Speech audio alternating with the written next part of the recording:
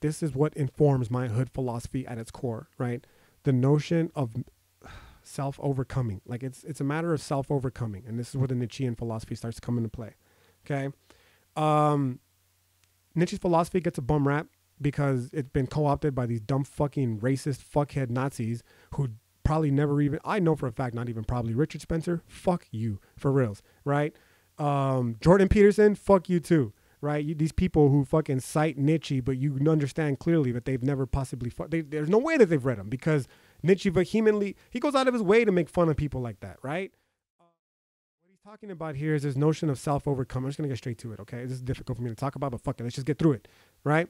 It's self overcoming, okay? And more importantly, the importance of not being sympathetic. You can already start to see how it's been fucking co opted by the Nazis, right? When they think of themselves being non sympathetic to anybody who's not of the Aryan race, for instance. But again, that is a fucking terrible, terrible, piss poor understanding of fucking Nietzschean philosophy. It's not about a lack of sympathy for other people, bro. It's not even a lack of sympathy for fucking animals, for nothing, dude.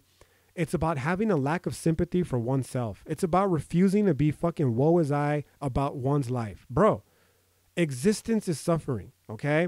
In fact, all of existence is suffering, according to this Nietzschean philosophy.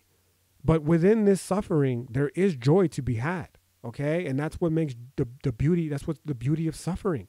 That learning to find the joy in this suffering and learning ways in which to fucking manifest this joy in such a way that we can prolong it to have this extended period of attitudinal pleasure as opposed to just physical pleasure that you get from shit like drugs, alcohol, and fucking casual sex. Now, I'm not saying those things are bad. I'm just saying that they're not the keys to a good life for many people. This hedonic fucking lifestyle inevitably grows old, right?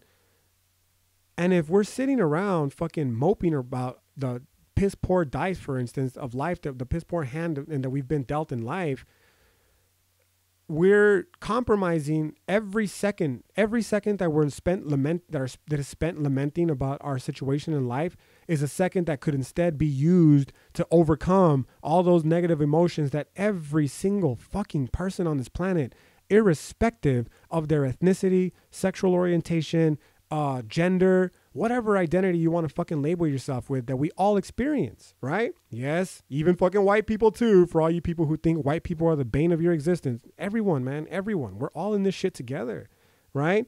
So the idea is that the self overcoming is to learn the ways to overcome all the eh, all the patterns of behavior, the self destructive patterns of behavior, if you want to use my language, that we've accumulated over our lives that keep us from becoming the greatest thing, the greatest that we could possibly be in our lives. Now, some of us, like myself, we get down. I used to get down for sure because I think to myself, again, going back to this fucking nihilistic hole, what's the point in trying to be great if I'll never be LeBron James great, right? LeBron James or the NBA great.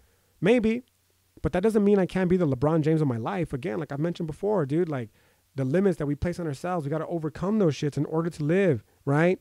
A, a, a, better life than the one that we're currently experiencing at the moment. The one that is driving many people, like myself in the past, to even consider suicide, for instance, a viable option to learning to just to the to, to the unhappiness that I was experiencing.